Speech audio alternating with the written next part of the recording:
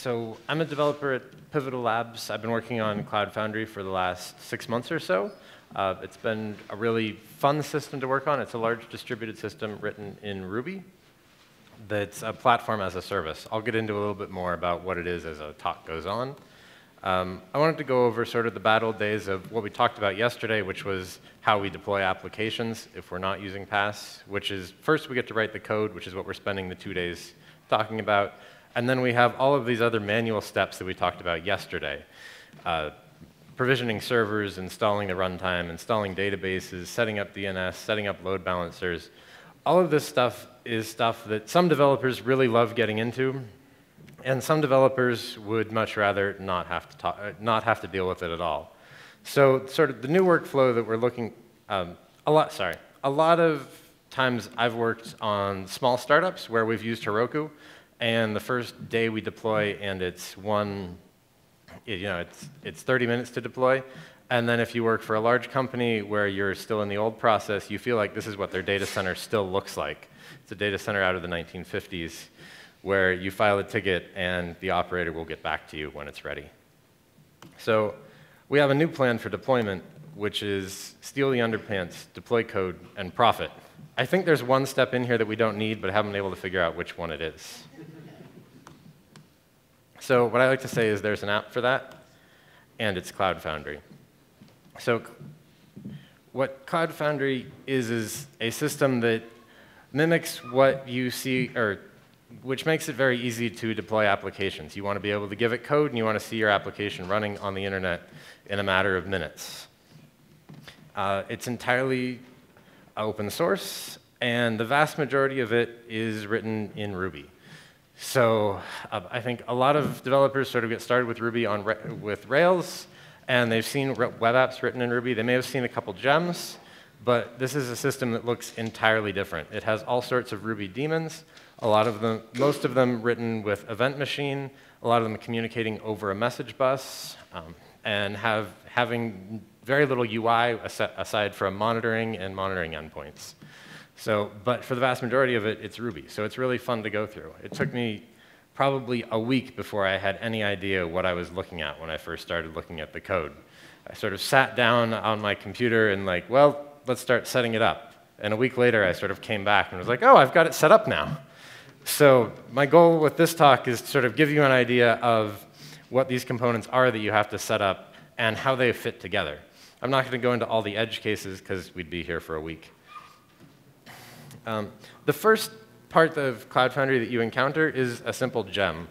Uh, we recently renamed this to CF because VM, it used to be called VMC and we didn't know what VMC stood for, so we figured CF made a lot more sense. Uh, this is probably the most clear Ruby code in the system. It's a gem. we're, as Ruby developers, we, we're used to dealing with gems. We know what they look like. You do gem, you do gem install, you download it, you run, you run CF, it tells you what you need to do to interact with the system. And once you enter commands, it eventually assembles your commands into HTTP requests that it sends up to Cloud Foundry. Uh, it's pretty easy to work with. Uh, we've recently rewritten a lot of this. Um, there's still a lot of refactoring to go, but it's getting better. So this is sort of the diagram that we have right now. What you've heard about so far is we have some developers and we have a CF gem. They're out on the internets. This doesn't get you very far when you're trying to deploy an application in the cloud. Uh, you can enter some commands, but eventually nothing actually happens. So we're going to need to add something to this. The component that we add is sort of the central brain of Cloud Foundry, which is an API that we call the Cloud Controller. This is a Sinatra application that's also written with Event Machine that sits on the message bus as well. So it can talk to the rest of the distributed system, but it also talks to the outside world. The Cloud Controller's main responsibility in the whole system is maintaining the desired state for what the system should look like at any given time. So if you register with the Cloud Controller, it should know that your user exists. If you create an application, it knows how many the application's there, it knows how many instances you want of an application, it knows how many URLs you want mapped to that application and what they should be. Uh, the cloud controller, and then once it sort of knows the state of what you want it to be, the cloud controller takes actions uh, to try and keep the state of the system in sync with what you've told it to do. Um, the cloud controller used to be written in Rails um, uh, with Event Machine as well. It was recently rewritten in Sinatra with the Sequel gem. It's a little cleaner. I think the, there wasn't really a good reason to use Sinatra or Rails other than it's just an API, so people thought they didn't need Rails.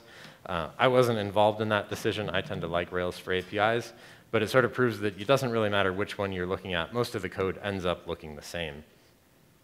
Um, so what we end up with a system now that has users out in the or users out in the world with their CF gem installed, and they can talk to this cloud controller that's running in the cloud.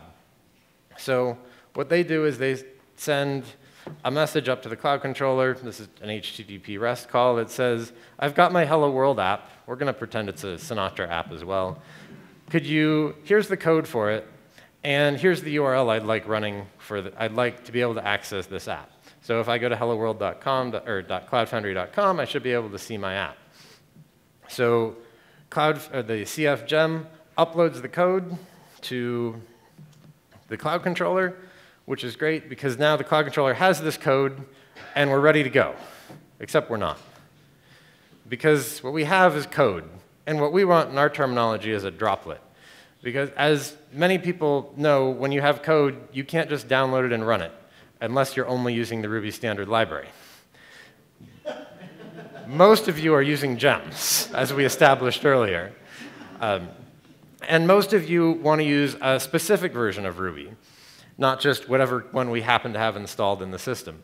So what we really want to do is take any code that has been uploaded into the system and transform it into something that we can run. Uh, so what we have is what we call a staging process, where we take the code and we run, what we actually do now is that we run the same code that Heroku uses when they're building your apps. We uh, oh, for quite a while had separate implementations of uh, what Heroku has build packs, we had staging libraries, and we took a step back a few months ago and said, it doesn't make sense to maintain two things as open source projects that do the exact same thing. And we said, let's use Heroku's. Uh, as a side note, we said we don't like how they do Java. We're going to do Java differently. But we're going for Rails, what Heroku has done for Rails makes plenty of sense. It's exactly what people expect when they're deploying a Rails app. So what we want to do is take our code, run the build pack, which is really a transformation function, and end up with a droplet. Uh, the goal of a droplet is that no matter what you uploaded, no matter if it's a Java app, a Play app, a Scala app, a Go app, uh, doesn't matter. What you end up with at the end is something that you can untar and call start on and give it a port, and it'll run, eh, it'll run on the system and start up that app once you have this sort of abstraction of I have this thing that I can untar and call start on, you basically have something that looks very much like an executable. Uh, it doesn't, you've compiled it down into something that's binary compatible with your system, and you can run it anywhere. So the challenge for doing this staging, this staging process is that we need somewhere to run it. Uh, we need to be able to run the code somewhere, and we need to be able to run the user's code, which means the user's code could be doing anything it wants to do. Uh, this is frankly incredibly scary to take user's code and run it in your system. So what we have ended up at is a, a component that we call the DEA, or Droplet Execution Agent. Ah, thank you. uh, which is where any, any user's provided code is going to run. Uh, the DEA is another Ruby daemon uh, written with Event Machine that listens on the message bus. It has no other UI. But so what you end up doing is you run this on a, on a server, and you also run on the same server Warden. Warden is a daemon that we wrote that is very similar to LXC, or if you've been reading the news lately, Docker. It uses the same technologies. How many of you are familiar with C groups? Some, but not all. Okay. C groups are awesome. They were originally contributed to the Linux kernel uh, by Google, and Google just sort of sent the patch over to the kernel and said, here, use this. And nobody really knew what to do with it exactly. Uh, shortly thereafter, the LXC project sprang up to actually make C groups usable. What you end up with when you have a C group is being able to launch, launch processes on a box and lock them down into a jail where they can't see anything else on the box. They're in a chrooted file system. Their process table only has their processes in it. And they even have their own network card attached to the system. And they use virtual networking to actually attach to the host system. Uh, so it sounds very much like virtualization, except that you, you don't have your own kernel running. You're actually sharing the kernel with the system that's running. Um, this means they're extremely lightweight. We can spin up one of these in about two seconds, and, uh, and it'll be ready to go, ready to run a ready to run users application code in a fairly secure manner. Unless there's a kernel vulnerability, you're not going to be able to get out of the Warden container. So what we have is we have application code. We get this message. Uh, slide doesn't believe it. We, the cloud controller sends a message to the DEA, which says, here's some application code. Could you go and stage it for me? And call it hello world the DEA will spin up a Warden container. So the cloud controller talks to a different box over the message bus. That box will then go download the code, put it in a Warden container, and it will start running the build pack associated with that application and transforming it into a staged droplet. So once this is done, the DEA will then respond back to the cloud controller with I took that code you gave me, I made it into something that you can actually run in the system. Here's the URL for it. Um, so this comes back into the cloud controller, separate box, and it says, okay, great, I need to do something with that. So it says, okay, I need to actually find somewhere on the system to run this and tell that DEA to actually run the application. Uh, this is sort of an interesting problem because you have to find somewhere in your large system where you can actually run this application. Uh, we've actually gone through a couple different algorithms for selecting where in the system to place the app. The first algorithm uh, used a time delay to indicate how busy the system was, the individual DEA was. So we would send out a broadcast request to the entire cluster. Uh, who can run this app for me? It's, you know, five, needs 512 megs of memory and each DEA would calculate a number based on how busy it was and sleep that amount of time before responding back. This was a very nice heuristic, but as soon as you have any sort of network delay, it becomes a challenge because the ones that are further away from the cloud controller never have to do any work. The ones that are right next door to it have to do all the work until they get loaded up. Uh, so we recently rolled out a change to this uh, selection algorithm where the DEAs actually broadcast into the system uh, regularly with how loaded they are. So how much memory they have, how much memory is in use, and similarly with the CPU. And then the cloud controllers all keep an in-memory table of all the DEAs they've heard back from, they've heard from recently, and how loaded they are. So when the cloud controller goes to start up an app, it can actually look at its table and say, I've heard from 50 DEAs in the last minute. This one has the least load in it. Let me send it a directed message over the message bus to start this, this app up um, and start it.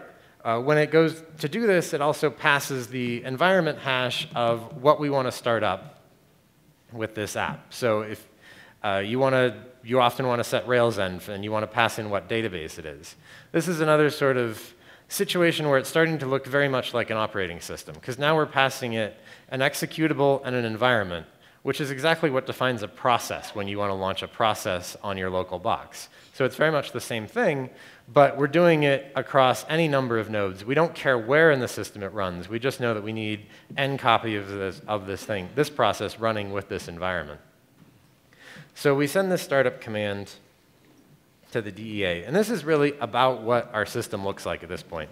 We've got our users, they're using the gem, they're talking to the cloud controller. The cloud controller talks to the DEAs, and they spin up apps, and this is great because now we've got apps running. Uh, what you can do at this point is you can mine bitcoins pretty effectively. Unfortunately, what you can't do is actually have any users hit your app because our app is sort of running in the forest with no way to get to it. So what we have to do is introduce another component to actually route traffic to this application. And we call this uh, conveniently the router. Um, the current one is called GoRouter for reasons I'll get into. You could probably guess. Um, but we haven't come up with a better name. We don't really think it's a mesh yet, so we're not calling it a mesh, and besides, that's taken. Uh, our router is random, if you ever, before you ask about it. Random works just fine, but I don't want to get into it any more than that. Uh, the routing layer is actually a really interesting part of the system because it's part of the system that's evolved quite a lot since the system launched. Uh, when we first, when Cloud Foundry first launched, the routing layer was simply a Sinatra app that would take incoming connections. It would know where in the system the app, uh, the various apps were, and it would proxy the connections through. As you can imagine, Ruby isn't the best language for uh, being in the request for every app coming into the system. So what we, the next generation of the router used Nginx with, with Lua scripts embedded in the Nginx config to actually do a request outside to a Sinatra app that was running on that exact, on that box locally that had a routing table of all the apps and all the ports in the system and where they were.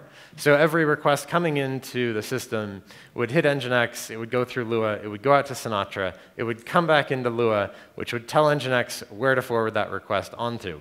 This was actually much better than having Ruby doing the actual proxying, but it still left us with memory usage issues with Nginx, memory usage issues with Sinatra, and not really the greatest experience overall.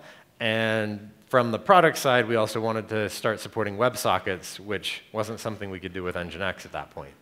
Um, I think as of a week or two ago, you now may be able to support WebSockets, but this was a little bit further back than that. So the third iteration of the router, uh, we actually took a step back and we ended up rewriting it in Go. So the, the router that's running now is written entirely in Go, and it's a pretty simple piece of code that listens on a message bus and just proxies requests through. We've been really happy with the stability of it.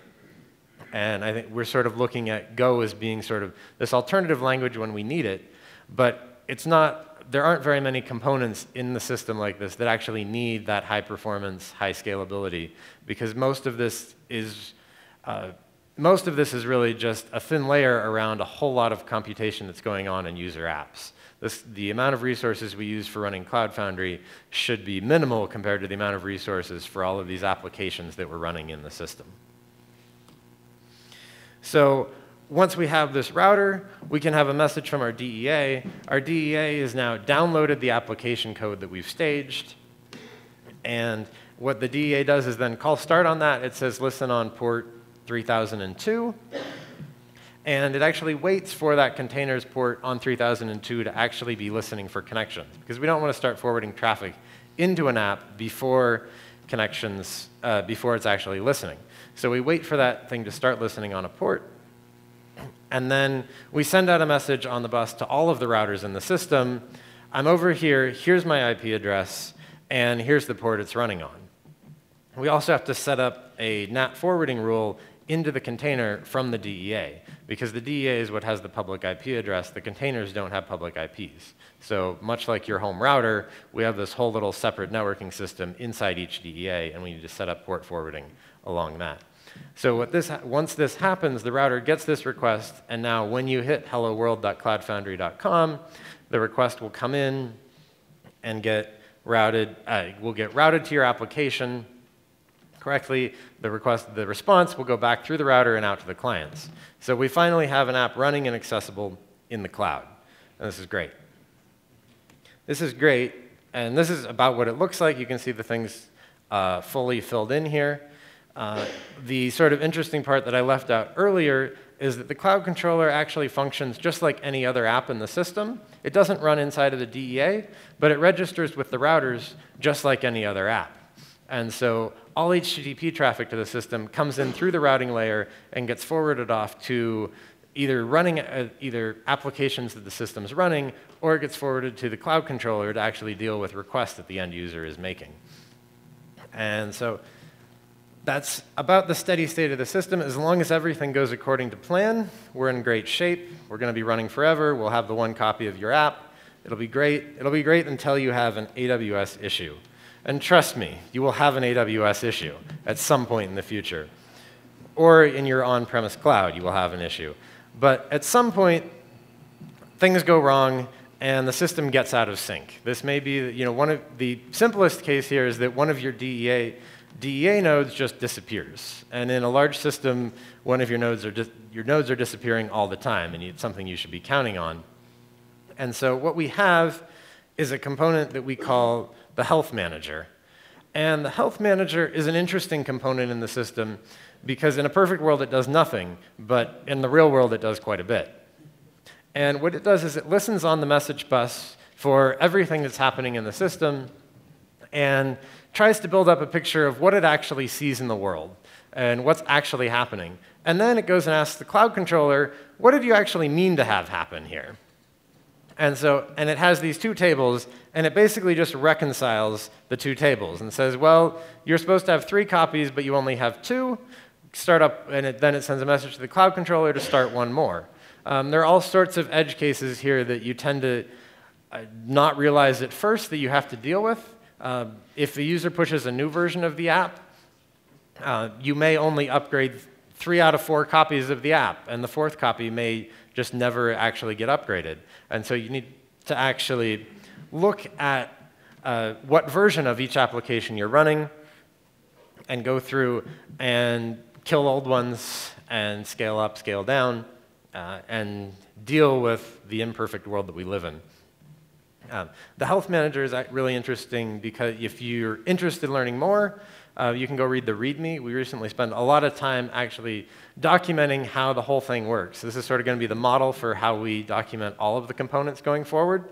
We haven't been great about it before. It's sort of been this black box of repos on GitHub. And one of the, our, our product team was actually complaining that it was impossible to figure out how these things went together. And we were like, well, just put a story into Tracker, and somebody can spend half a day documenting it. And so we actually did. We had two people go through and really detail how it works. So it's a fun read if you're looking for something like that. So the one topic I haven't covered here terribly, and I'm not going to go into in detail, is services. Uh, what we've gotten to now is something that can run application code but has no persistence layer. Um, it's not terribly interesting from an application developer perspective if you don't have a persistence layer. With Cloud Foundry, we actually have five services that we deploy. We run a, I could name a Postgres, MySQL, Mongo, RabbitMQ, and Redis as services. These are all very small, sort of not production grade services at this point. Uh, we, what we find when people really go to use Cloud Foundry at a larger scale is they end up calling out to a larger a different database cluster that they're managing by hand. A lot of people want to deploy databases on real hardware, or they want to have people looking, uh, really managing them, and that's a hard problem. And so we're looking at that and sort of looking to see uh, where we should invest time to make a system that can automatically manage a database, much like we're automatically managing apps. But right now, we just sort of have this naive view that, well, since it's a VMware project and we're using vSphere high availability, any app, any instance that crashes is just going to come back somewhere in the system. In the real world, we don't want to count on that. And we want the system to be able to detect when a Postgres database goes away and actually transfer load to a different Postgres database seamlessly. We're not there yet, so um, it's, but we're not there yet for reliability, but we do have code that allows developers to actually have a workflow of, I need a Postgres instance, let me provision one, and when I'm ready to go to production, I can actually provision one outside of Cloud Foundry. So for me, this is a really exciting problem to work in. Um, I really enjoy being a developer, but I enjoy operations a lot, and I think it really is where the two tend to meet, and it's a really interesting use of Ruby because there are all these different components that are talking to each other, um, and it looks nothing like any other Ruby code I've seen. And so it's a really, it's a fun thing to dig into. It's a little challenging to get started, but I encourage everybody to check it out um, and, if, and get involved, look at it, there's a mailing list uh, you can find if you have any questions, or you can, even better, you can find me tomorrow at the Pivotal Labs Drink Up, which is after the conference. And you can find my slides online, and you can find me on Twitter. So thank you very much.